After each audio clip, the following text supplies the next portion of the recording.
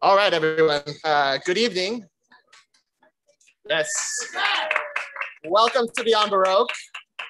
Uh, my name is Quentin Ring. I'm Beyond Baroque Executive Director. I'm thrilled to, uh, to welcome you all to a reading here in our outdoor patio, a little COVID friendlier uh, than the theater. Um, but we, we have three of our favorite poets here tonight. Holaday Mason, Judith Pacht, and Mariano Zaro. Um, Yes. Um, before we get to that program, I would like to say a few words about Beyond Baroque. Uh, I'd, I'd, like to begin by acknowledging Beyond Baroque's presence in the traditional, ancestral, and unceded territory of the Gabrielino Tongva peoples. We acknowledge the wrong done to these peoples through settler colonialism, genocidal practices, the violent dispossession of their lands. As an arts organization, we are committed to uplifting Indigenous writers and communities.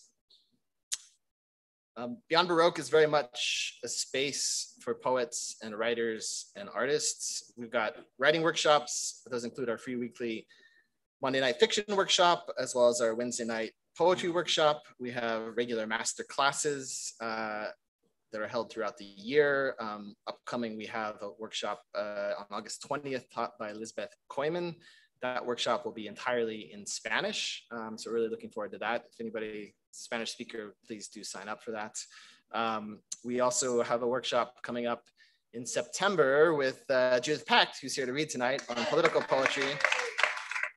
Uh, tickets for that will be available shortly, I think within the week. So please do check our website about that.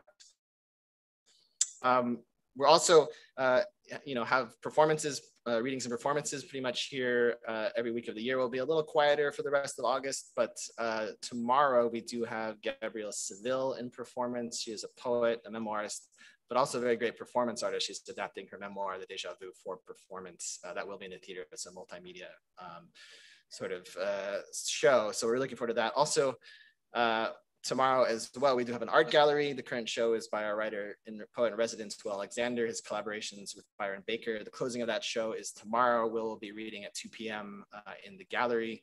Even if you can't make that, please do check out the show uh, upstairs as well as in the lobby. It's fantastic. Uh, Will was just a finalist for the Pulitzer Prize uh, just last month. Um, we've got many other things here. We have an archive documenting the history of small press literature, um, we also, and this is important, have a bookstore uh, where we have our poets books for sale after the show. So please do buy those, support, uh, support our poets, uh, support our bookstore. We very much appreciate it. Um, above all, of course, we do have a community of writers, poets, artists, uh, readers. Um, we depend very much on the support of that community. So if you're not a member of Beyond Baroque, uh, we'd love it if you would consider becoming one tonight. It costs as little as $50 for an individual membership, 75 as a dual membership. We have kept almost all of our events for free since reopening. Uh, and so we'd like to continue to do that. Your support very much helps us keep, uh, keep these programs free. Um, even if we do have to charge and you're a member, you will, um, for the most part, get in free to, to our events. So um, you can see Eliza in the bookstore about becoming a member after the show. We appreciate it. Um, and um, yeah, so speaking about community as well, I should really give a big thanks to our staff. A bunch of people helped on this program. Uh, Jimmy, Yvonne, Phoebe, Jay, Jessica, Emmanuel, Eric, uh, thank you all. Uh,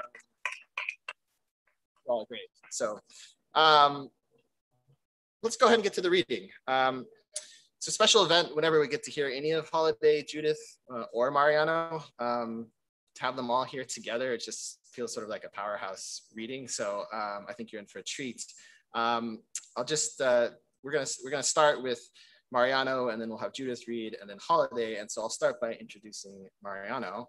Um, Mariano Zaro is the author of six books of poetry, including most recently Decoding Sparrows, which we have for sale. Uh, he's a finalist of the Housatonic Book Award and Padre, uh, and which was the finalist for the Housatonic Book Award, uh, and is also author of Padre, Padre Tierra. His poems and short stories have been published in anthologies and literary journals in Spain, Mexico, and the United States. His translations include Buddha in Llamas, by Tony Barnstone and Como Escribar un Canción de Amor. Apologize for my Spanish. Uh, he's a professor of Spanish at Rio Hondo Community College, um, and he is just a fantastic poet in person. So please welcome Mariano Zaro.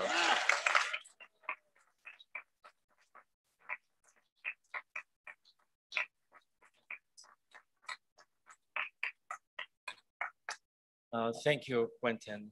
Uh, this is a very imposing audience. So um, I'm gonna read a few poems.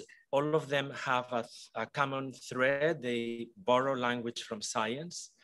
The first one is called Enzymes. And I never read this um, poem in public because it has very difficult words. So thank everybody for being here tonight. And thank you for suffering my mispronouncing. Enzymes. They are sitting at a table next to mine in a small restaurant in Madrid near Atocha station, father and daughter, I assume. Saliva contains enzymes that help catalyze chemical reactions in the body. She's eight, maybe 10, wears a summer dress, white cotton with small printed lemons. The major enzymes in saliva are salivary amylase, salivary kallikrein, and lingual lipase. I order a salad mineral water, something simple. I don't like eating alone. They order veal with mashed potatoes. Salivary amylase breaks down starches into a smaller, simpler sugars. When she drinks, the girl leaves her glass with both hands. The father is young, tells the waiter to bring a spoon, an extra napkin. Salivary kallikrein increases vasodilation and capillary permeability. The girl has short hair, wears glasses fastened to the back of her head with a wide elastic band. Lingual lipase breaks down triglycerides into fatty acids and glycerides. The father chews a small piece of veal with his front teeth, picks it up with his fingers and gives it to her daughter in her mouth. The girl starts chewing, swallows, looks at her father, opens her mouth, smiles, gums swollen, grabs the spoon, clenches her fist. The spoon rattles against the plate for a moment. She eats the mashed potatoes on her own. The father rests both hands on the table. Saliva also contains lysozymes that kill bacteria viruses, and other foreign agents in the body. The restaurant looks brighter now. Even the street traffic is gentler. I feel less alone. I may order a glass of wine after all to celebrate this girl, to celebrate her victory. You. I'm not, um, I'm not an experimental poet, but sometimes I pretend. So I'm reading a couple of poems. I am reading a couple of poems that are more experimental, a little bit. The first one uh, plays with fragments. You, you, will still hear full sentences, but they are more fragmented. And this uh, poem is a tribute. Some poems are tribute. This is a tribute poem. Exoskeleton metal leg braces that extend, bend under the soles of his feet inside the boots, a crutch in the left hand. When he sleeps, the metal braces, the crutch also sleep. They sleep on the floor next to him, cold.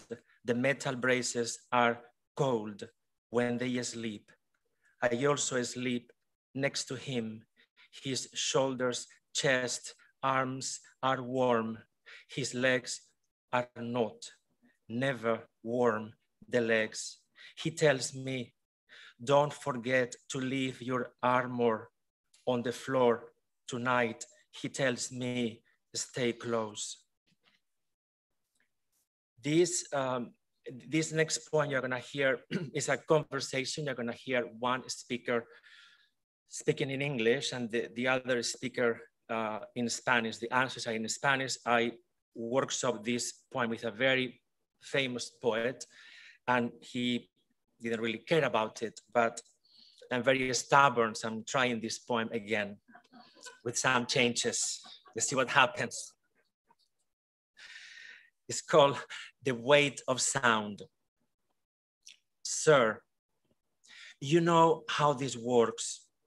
Just delete the last syllable of your words. Para seguir adelante, yes, to move on, you have to be lighter. Tan solo una sílaba, only one, yes, la última sílaba, the last syllable, that's right. Por ejemplo, for example, camino becomes cami, libertad becomes liber, amatista, amatis. Nadie me entenderá. They will understand. Millions of people are already done with the upgrade. Me da miedo el cambio, tanta pérdida. Change may be scary, but you don't lose much, few sounds here and there. Me da tristeza. It's not as sad as you think. You are shedding weight, remember? Algunas palabras tienen solo una sílaba. Of course, some words only have one syllable. I am aware of that. Puedo decirlas por última vez. Yes, you can. Some of them. You can say them one last time before crossing. Adiós, mar, sal, sol, luz, bien, mal, más, pez, pan, sí, ser, paz, tú, voz, no.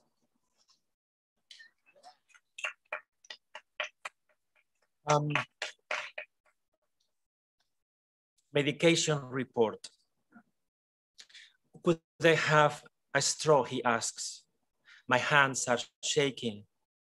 I get a straw from the counter at the 18th Street Cafe in Santa Monica. He looks small, hunched over the table, spilled with iced tea. This tremor is the new medication, he says. I get it once a month now. I thought it was once a day, I say. That was methadone, he says. He still has long hair, tied in a ponytail. I walked to that methadone clinic every single day for years, he says. Now they have me on Sublocade. What's Sublocade, I ask. Is Suboxone, you know, he says, but it's not a pill, it's an injection. They poke you in the belly. Is this better for you? I ask. It's more convenient, he says, once a month. But I still have cravings. They are more like thoughts, fleeting thoughts. This is one more thing they try until they find something else to calm you down. They have to kill you a little, you know. He wears a black t-shirt and a flannel shirt unbuttoned. The shirt is too big, loose in the shoulders. Do you still play guitar, I ask. No, with these hands, he says. I can't. We met when you were in the School of Music, I say. At UCLA, I played classical guitar, and you also had a rock band, I say. Always between things, he says, never landing, didn't know where my heart was. Will you care for something to eat, I ask. Don't have much of an appetite, he says. Maybe we could share a bagel. That sounds good, I say. I knew where your heart was, he says. Yes, you did, I say. Sometimes the past feels so empty, he says. Sometimes so crowded. Do you think your hands will improve? The shaking, I mean, I ask.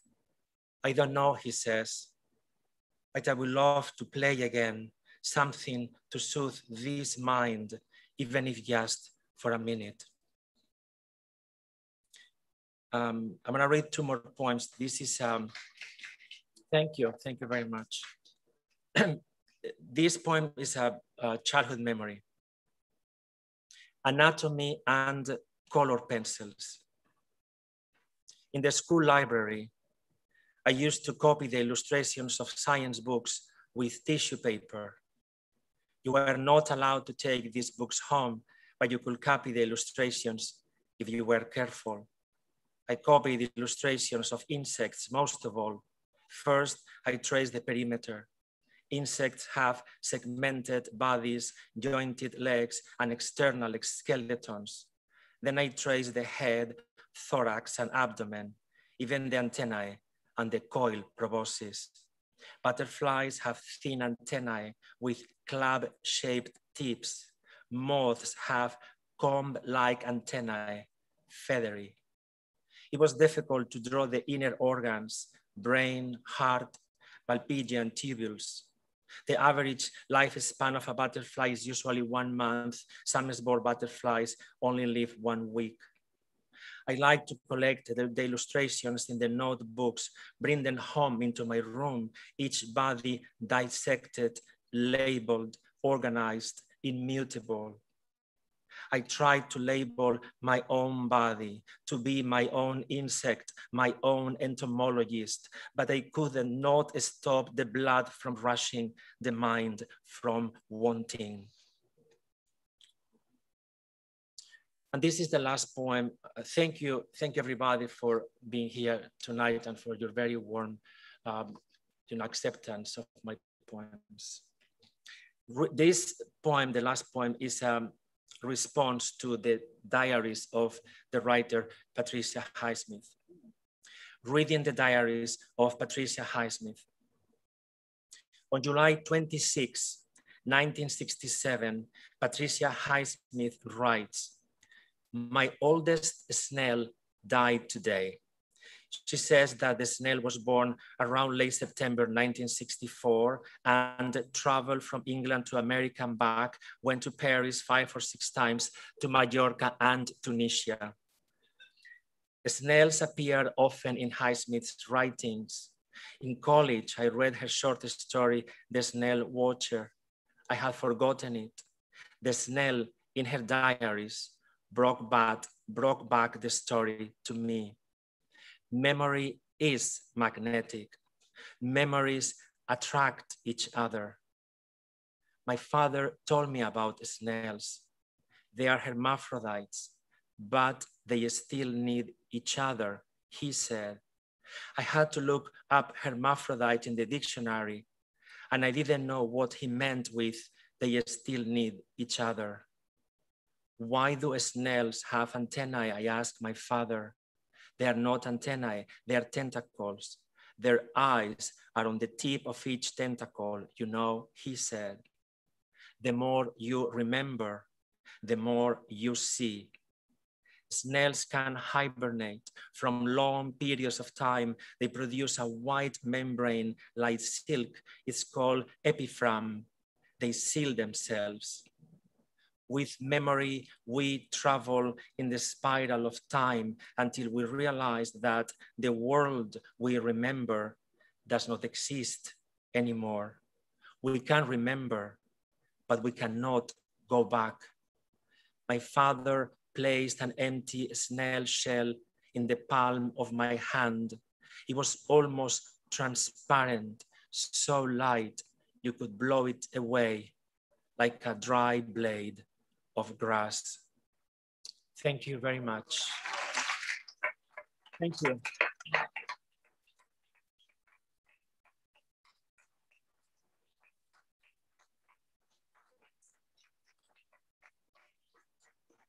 Thank you, Mariano. That was lovely. Next, we have Judith Pacht. Uh, Judith's book, Summer Hunger, won the 2011 PEN Southwest Book Award for Poetry. Her recent poetry books include Infirmary for a Private Soul and a chapbook derived from haiku, a cumulus fiction. Pacht was first place winner in the Georgia Poetry Society's Edgar Bowers competition. Her work appeared, appears nationally and internationally in journals and anthologies. In 2021, Verse Daily published her poem Kin. Her poetry has been translated into Russian and published in the literary magazine Foreign Literature. Pacht reads at the Los Angeles Time Festival of Books, at Charleston's Piccolo Spoleto Festival, and has read and taught political poetry at Denver's annual Lit Fest at the Lighthouse. And as I mentioned before, we'll be teaching on the same subject here in September. Please everyone welcome Judith Pacht.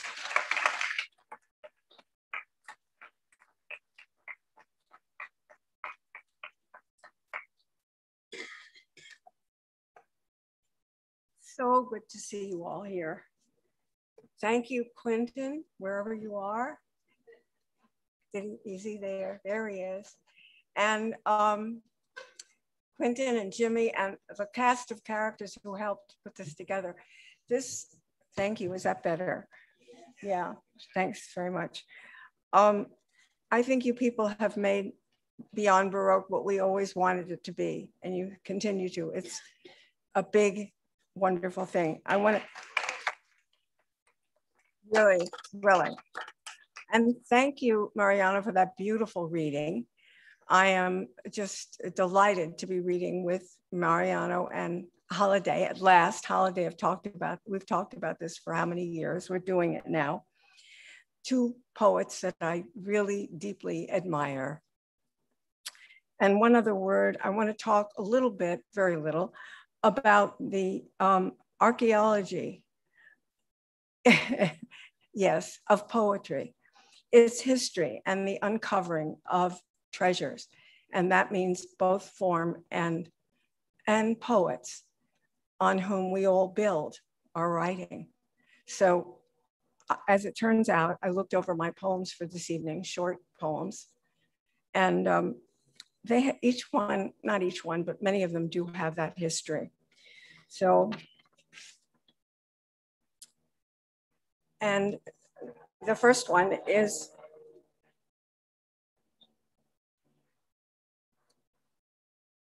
okay. Uh, I thank John Ashbery for his self-portrait in a convex mirror, um, but but this this goes in a different direction. Um, I'm going to read you the note on this one, which would normally be in a book at the end, but I think you'll want to know this. This is a quote. I say inner beauty doesn't exist. That's something that unpretty women invented to justify themselves. That was by Osmel Souza, who was the longtime head of Miss Venezuela pageant on the popularity of plastic surgery in Venezuela. On the other hand, this is portrait as a complex object. She has excised what some call excess, an ever so slight fat flap at the waist, a prominent nose, her pointed chin, pain plus time, her, her currency, her only leverage.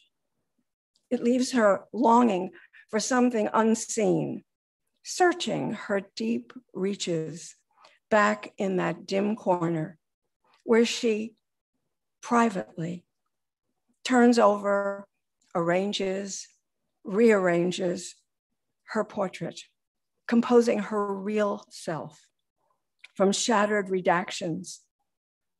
An object, something like a decorated dish, warped in a mirror. She's looking for anything that might prove it must be there, her worth, just the thinnest slice.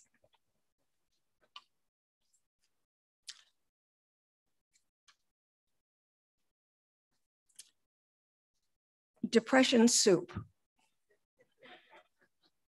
1936. The chicken feet at Sammy Yee's, a jumble. Grasses tuck slivered duck, scallions in bowel clouds. Orders sing out loud, vowels, trouble, clatter, roll and rattle, metal carts. Right here, mother ladles soup, pot to bowl, noodles tangle, mounds of ancient hen's feet, broth leached and leached, hours and hours from barely bubbling bones. Father's bald head, a brass globed finial, gleams tall over suit and tie. starched dinners. Mother's ordered breaths, her table, set for dining. With me, an animal whose procreant urges, primal, ravenous, suck jellied bits off Mount of Moon, Mount of Venus, my hands, their feet. And I just want to add to that in palmistry, which I don't know much about at all, Mount of Moon is an area at the base of the palm opposite the thumb, you can see, said to be the source of creativity, moods, and emotions.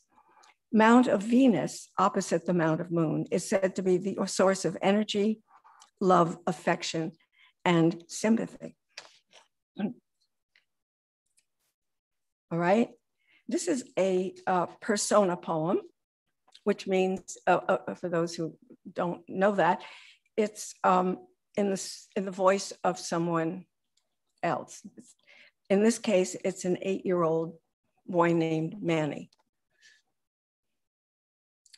This is sequitur, as in non sequitur, except that this is sequitur.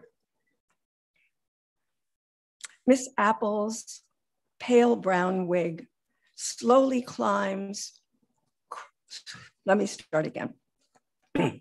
Miss Apple's pale brown wig slowly crawls crab like toward her tiny bead black eyes. I arrange obedience on my face. The linoleum stinks. Our classroom workbooks open page 21 low chairs in even lines face Miss Apple's tall desk and chair. Better to look up at her. I'm in the hall. A word storm bounces wall to wall through doors into other classrooms. My stomach flips and falls. Fear, a sharp edged shadow of indignant wind, whistles darker worlds Miss Apple's admonitory finger points left to right to left, like mother's metronome. Late again, your unbuttoned shirt, your spelling score. Again, you jump to page 42. Instead, I read. Instead, I read. Inuit mothers are chewing whale hide to soften for their baby moccasins. Somewhere, seals swim in deep, cold bays. My neon tetra birthday fish swims safe at home in his tank. Tonight at supper, my father, his quiet voice. There was a part in that from Yeats, which might sound familiar from the second coming.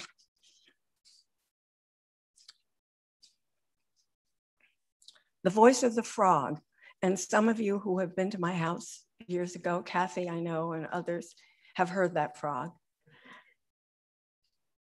Yeah, and this this this reminded me of of Elizabeth Bishop's in the waiting room. I don't mean that this poem is anything that good, but this it has a part in it which you will find the same the voice of the frog. You have to start early. Listen hard. Stand in the doorway, insistent, familiar, still hidden in lavender, his voice knows my footstep. Or is it my shadow as I pass? I know him only by his rough call just outside my door of windows. This water is mine. I do not know him really. He grows silent. Any strange change of light cuts the black air, erases traffic, night jars, crickets. In the darkening, I cut the air with self recrimination, recreation of what was said, unsaid, done, undone. but I'm not thinking. My voice is his. Our tandem talk is one voice, both of us waiting for light, the consoler, light of the night before day.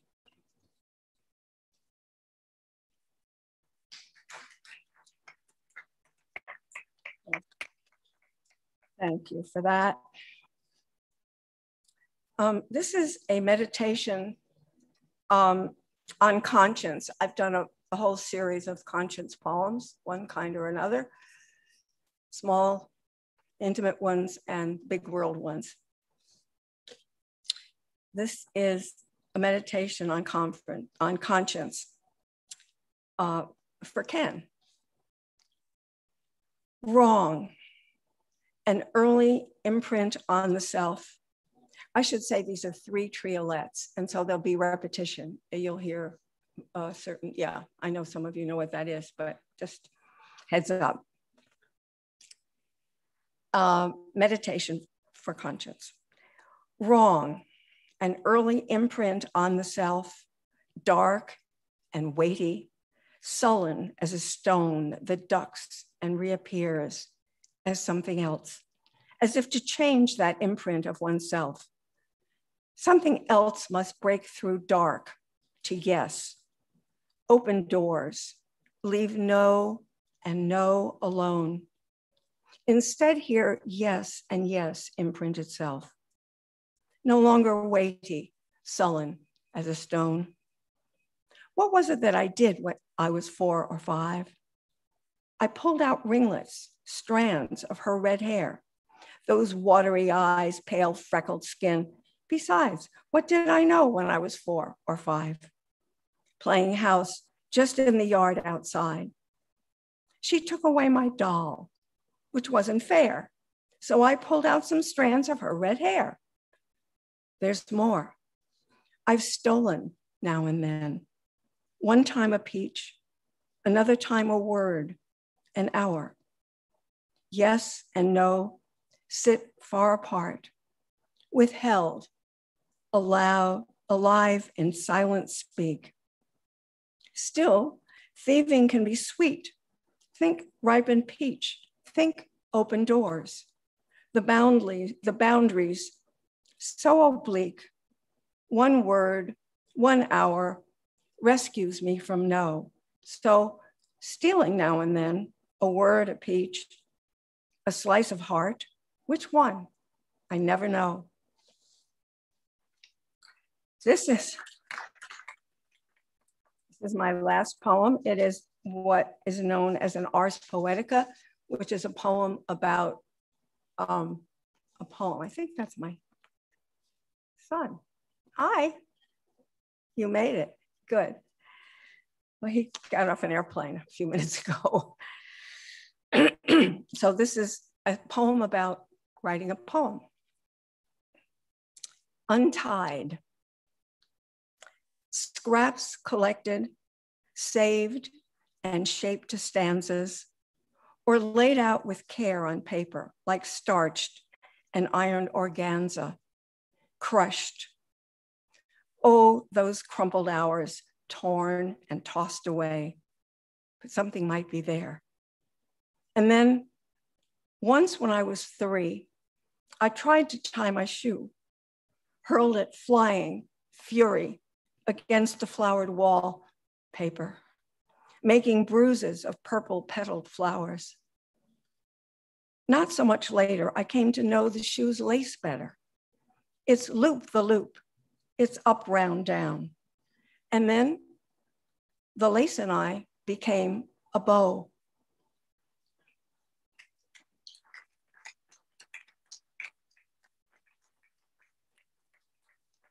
Thank you all so much. Thank you for coming and for listening.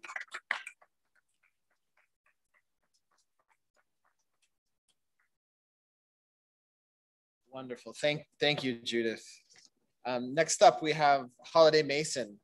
Uh, Holaday is the author of two chapbooks and five full-length collections, Towards the Forest and Dissolve, The Red Ball, A Fable and Poems, the She series, a Venice correspondence with Sarah Maclay, and The Weaver's Body.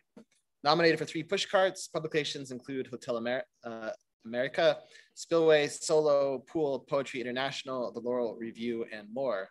She's also a portrait and fine art photographer focusing on the beauty of aging and humans as part of nature.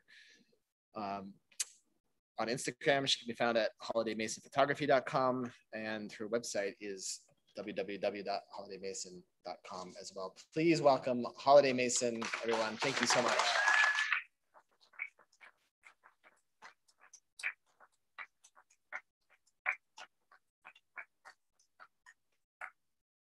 Hard acts to follow. Well, um, I thought about thank yous, and there are so many to thank that I could take the whole of my time naming names. And I don't think it would be a terrible thing to do. I think it would be a list poem.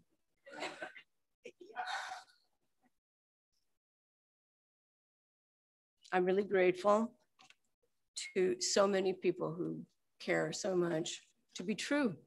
I think that's the way to put it. Thank you, Mariano and Judith. I love you both very much. Uh, thank you, the crew at Beyond Baroque. As Judith said so elegantly, it's a transformation that's um, holding space in such a world. And you can hear the city rumbling around us, you know, and we're holding space. Um, I want to just do really a quick shout out to some books that are coming this year and next. Uh, this year, Jan Wesley, look for her book. Uh, title, please. Well, her title is Only So Much Sarah Maclay. Nightfall, Marginalia. These are these are going to be fantastic books.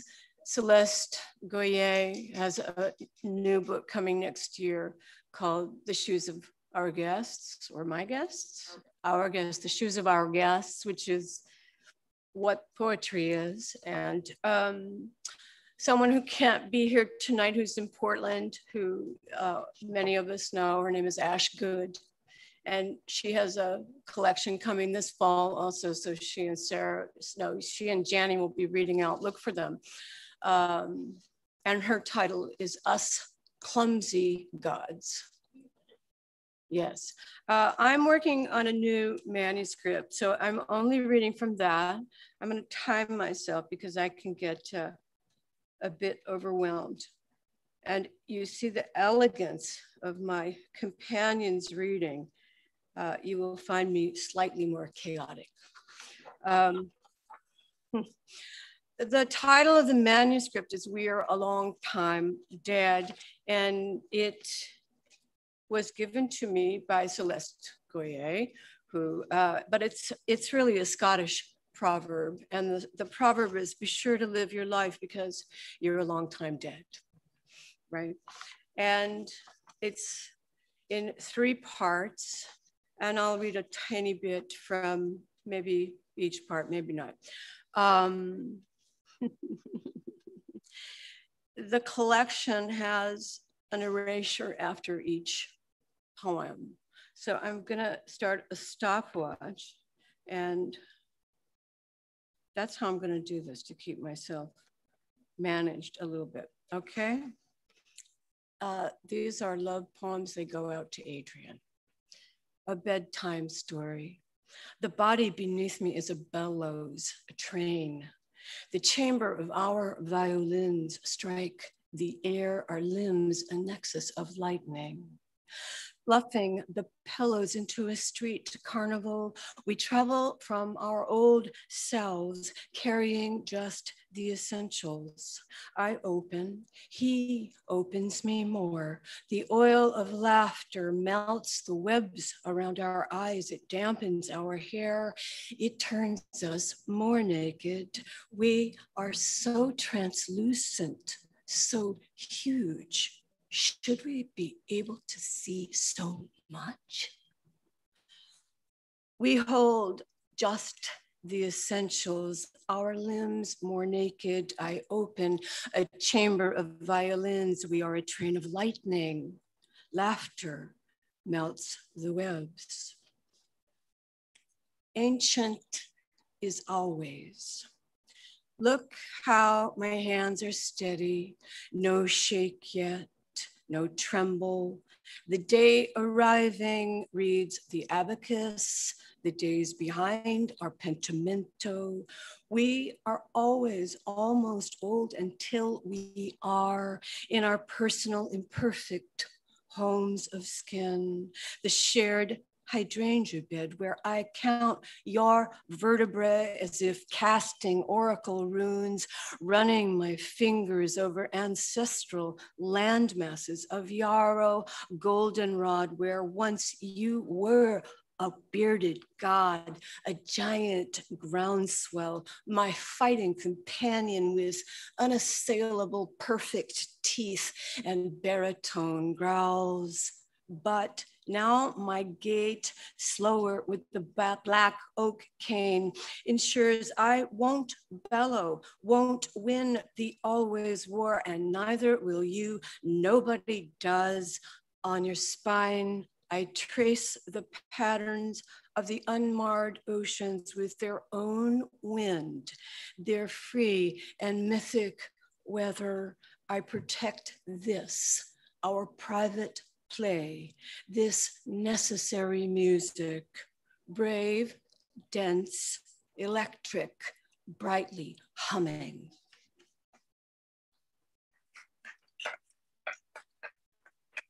Thank you so much.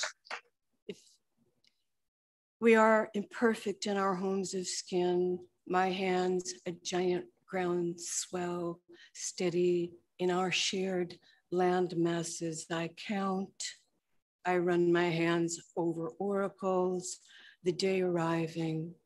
I protect this. This poem borrows a few lines from a group of poets I write with in Portland. Ashgood is a part of that group, so thank you, sisters. Summoned to perform at all hours of the night.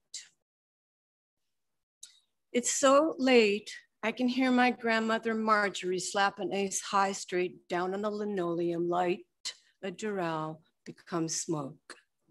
We are so wet again. Our pool hair swims across pillows. Is it fever or is it sex?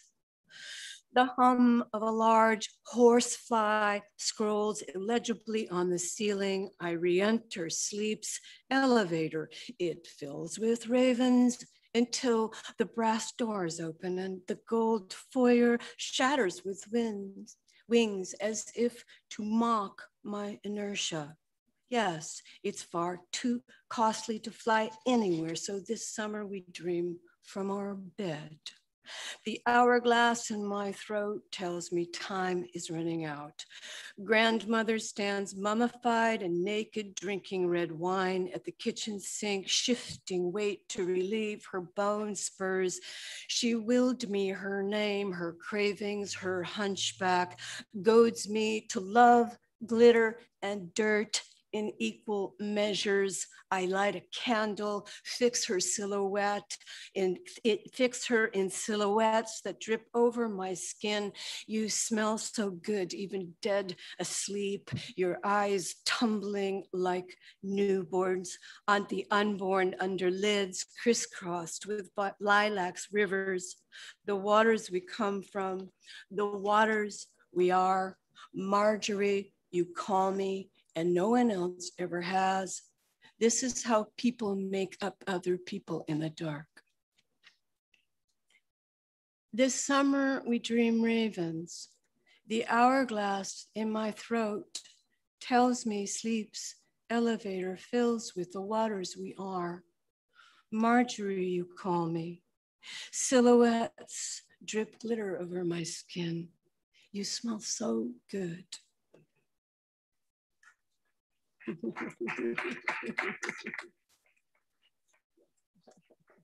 you. Oh my gosh. late sunlight like Monet. This might need a little context. It, it doesn't as itself, but um, because I shoot pictures, um, my beloved is an intrepid model and um, will follow me into the deep woods as I try to get a shot. So late sunlight like Monet, searching for gilded snow melt ponds, shrouded in the woods, we decipher our way over decaying stormfall, hidden in dense lodgepole pines. Sliced with sunset, there are so many sides of things, and fire on the sea behind us, on the cries of gulls spiraling up drafts, fire too in clouds as if clouds could burn all harsh words ever spoken, yours or mine, those we've left behind. Now, it's not selfish to push, to mount sundown, strip beside you and enter the opal water, cast in liquid gold, perfect, remorseless, the past complete, our hands utterly empty as lily pads. Pale blossoms float like everyone's secret wishes, and dragonflies sip from the night pond, nearly kissing our open eyes as we watch from under the surface the arrival of new stars.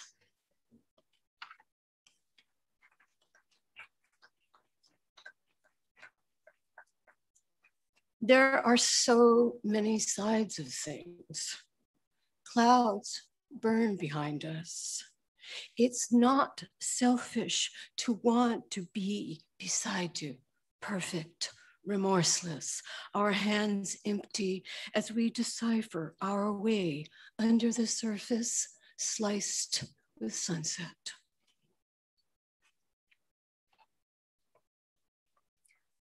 Talking to ashes. The ashes are gold, so it must be tomorrow under a tree full of dream catchers. The drought cracked oaks in Topanga, Oregon suffocated in smoke, hydrangeas and birches burn. The trees are like Christ's, uncorrupted in union and communion, interspecies, carbon fed with sunlight, they give birth to violins while four chainsaws tear the tall eucalyptus across the street to rags.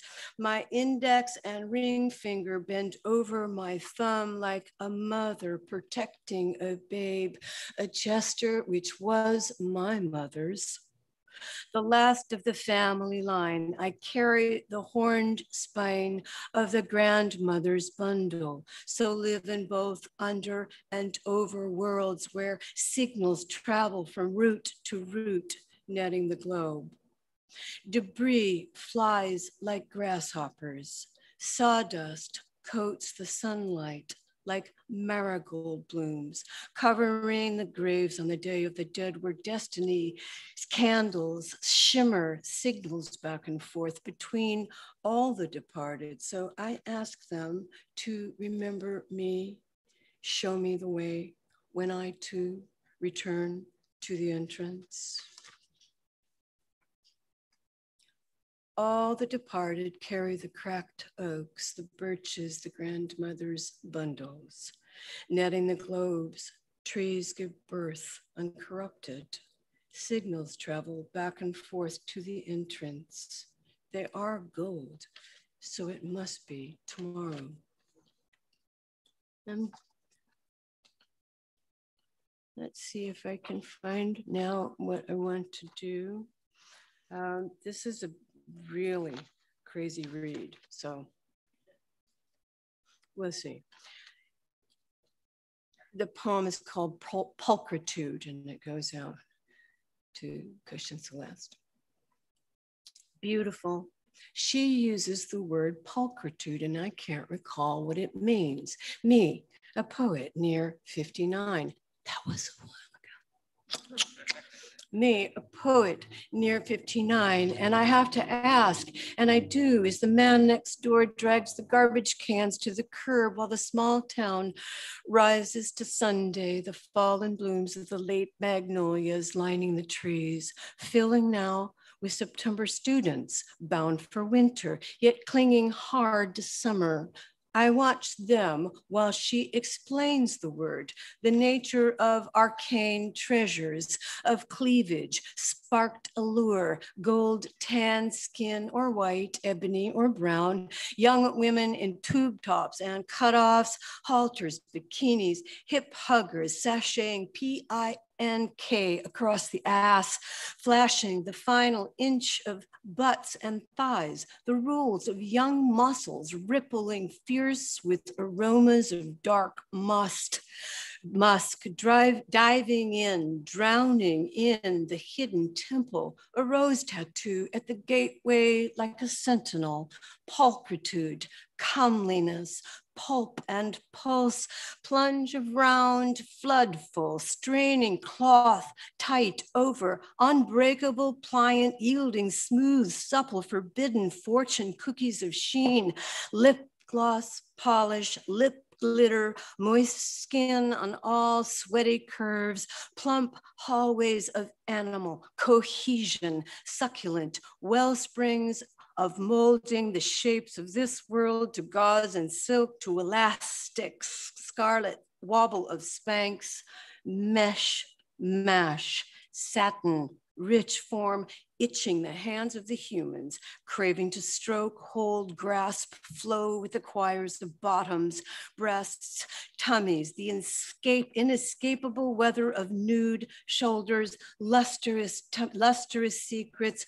rippled, kneaded, molded these bowls of bones pummeled into dreamscapes of a lasting flesh heaven, the clay of our bodies, the stuffed sheaths, dizzying enchantments of the long brown, black, red, blonde hairs, the shaven, creamy sheerness, the tawny silk, loved, all globes of sugar, loved, tree sap or unspoken guttural operatic howls loved, annunciation loved, corridors of desire, baskets and tables of flesh, of femme, of cock, loved, of babies and union, oh pulchritude, the last supper, the reason for black dresses and lace undies for prayers and food, sirens, siren, spirals of rapture, young bodies all over the place, perfumed and everywhere, promenading the main drag of Sunday before they all fly away like seed pods.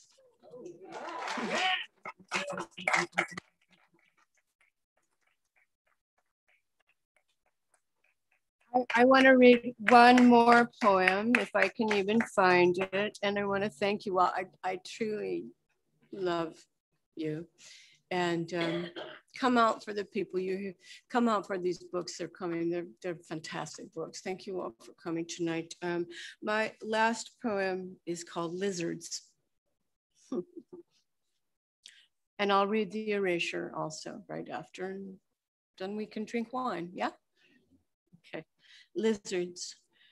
You're all the beautiful boys of my youth, lying like lizards on the granite grottos, warm and tan, the boys I never fucked, too pink and plump to be what they desired. You're the kiss on wet lips, honey crisp, not melancholy. So, yes, I leapt over my dread in my worn out shoes, still good enough to go. You're not afraid of the charnel grounds and the cottonwood grove, crumbled with drought, scarlet foxgloves bent and thirsty, where I scattered my dead, danced nude on their graves. As a fisherman came to the shore in the mist, threw out his line and never even saw me. But you see, and we listen, as birds talk to trees, who talk to the wolves, who return the skeletal debris of our failures to, the, to our own feet so we can say goodbye with due respect. You're all the beautiful boys of my youth, supple, easy, loose muscled after swimming the rapids, and I, composed, dressed in red apples from a farm that was once raised by ice, R A Z E D, that was once raised by ice, bringing you the fruit of stars exploded a million years ago. You're all the beautiful boys. You're I Gone Over Dread. You're swimming the rapids. You're never fucked too pink. You're scattering my dead. You're still good enough to go. You're composed and dressed from a farm. Your wet lips, not melancholy. You are nude in the mist. You're the fruit of stars exploded. You're all the beautiful poets, You're all the beautiful.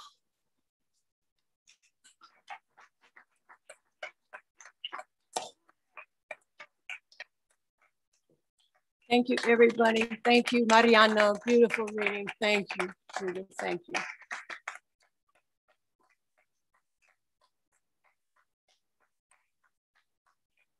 Another round of applause for Holaday and for Mariano and Judith as well.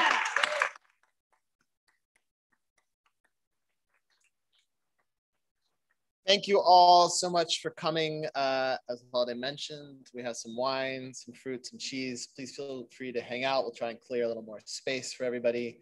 We also, of course, have books for sale in the bookstore. So feel free to hang out and have a little bit of a conversation. Thank you.